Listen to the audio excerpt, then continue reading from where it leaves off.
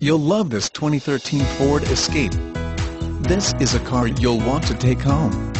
With zero miles, it features automatic transmission and an exterior color of Kodiak Brown.